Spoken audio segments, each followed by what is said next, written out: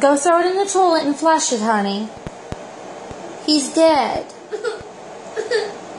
Come on, let's go. Let's go throw it in the toilet and flush it. I keep it. Honey, where are you gonna keep it at? Uh, what? We have a little bowl. No, honey, he's dead. He died. How did he die? Mama accidentally killed him Like how? because I gave him the wrong water. What kind of water was it? Tap water. Ew. I'll get you a new one tomorrow.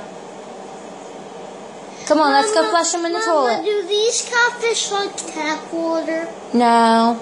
Only, only, Mama, do the big fat ones that have the big bellies like um that kind of water? Yeah. All right, let's go flush him in the toilet.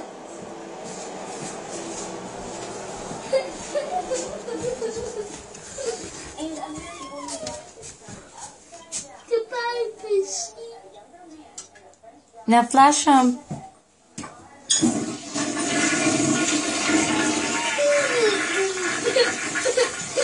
Mama, What, honey? but now I don't have two pets.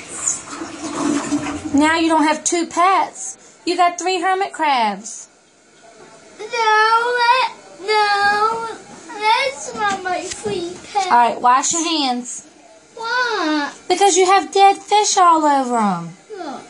Ew, Pax, it's his guts. Wash your hands.